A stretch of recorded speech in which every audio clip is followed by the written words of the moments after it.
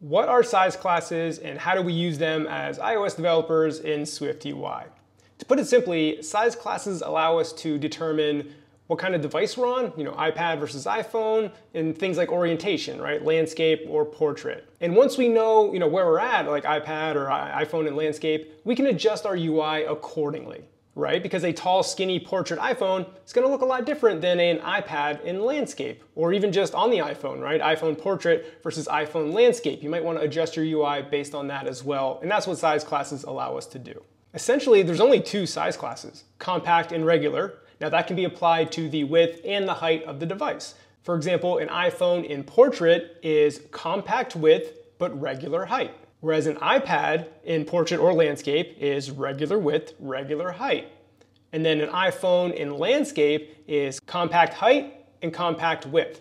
With one little caveat, right? Those big fat phones, right? The Maxes and the Pluses. Because there's so much screen real estate, those are actually compact height but regular width. So that's one little caveat that you gotta look out for. And this allows those big phones uh, with regular width to have things like split view like you see here. So be careful with that one. Don't make the assumption that all iPhones are compact width, compact height when they're in landscape. Again, all of them are, except for the big fat Max and Plus phones. Now, how do you know what device is what size class? Well, that's where we turn to the Human Interface Guidelines or the HIG as you can see on my screen here, right? Device, size classes. And of course, link to this will be in the description.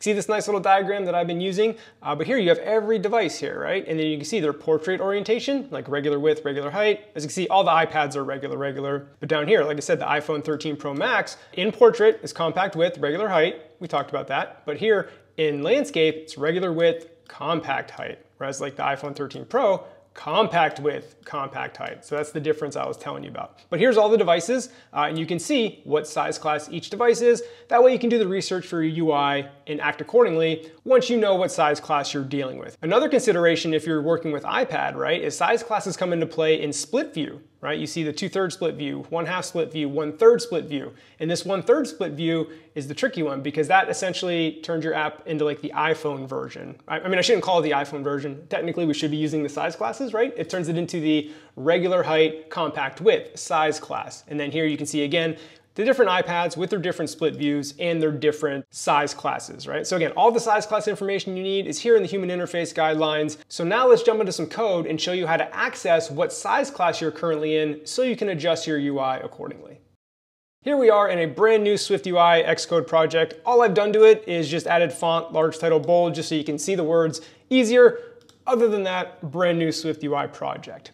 So, how do we know what size class we're currently in? Well, in SwiftUI, size class is an environment variable. So here in our content view, we can do at environment slash dot uh, vertical size class, and then var, we'll call it vertical size class. This is just the name of the variable. If you wanted to name it something different, you can. So that's how we can get access to the vertical size class. You'll see that in action in a second. But what about the horizontal one? Well, as you can imagine, pretty similar, right? So at environment slash dot uh, horizontal size, there's the autocomplete size class var, horizontal size class. So now that we have access to this, these variables, this is how we know where we're at. And again, back to this diagram, you'll know if you're on an iPad, you'll know if you're on an iPhone in portrait or an iPhone in landscape. So admittedly, the example I'm gonna show you is very simple, but the key learnings here is knowing how to access this because once you know where you're at, well, then you can build whatever UI you want, right? This tutorial is not about teaching you how to build that UI. It's showing you basically how to get the information. So we'll keep something simple here. I'll show you two examples, right? So this hello world text will change if we're in landscape. Well, how do we know we're in landscape on an iPhone? Well, if I go back to Safari here, again, our diagram here, you'll notice every single iPhone, and I mentioned this before, in landscape has a compact height. So we know if our vertical size class is compact, well, we're on an iPhone in landscape because it's the only time that ever happens. Now that we have access to this vertical size class, we want to check to see if it's compact. So we can use a ternary uh, operator here, vertical size class equals equals dot, and you can see you get compact, regular, none. So we want to make sure it's compact. And if that is true, we don't want to say hello world, we want to say I'm landscape. If that is false, we'll say I'm portrait. Now let's also change the color just to, to really show you. So we can do dot foreground color, and then again, the same ternary operator here, vertical class is uh, compact, and I'll refactor this out in a second just to show you how you can make it cleaner. But let's write this first. So if it is compact, we'll make the words dot red, else dot blue. Now that I have that typed out, let me refactor it real quick. This is what I normally do in my project just to clean up the code. So I would do var is landscape and that is a bool. And there's gonna be a computed property, and it's basically just, you know, this vertical size class equals equals compact.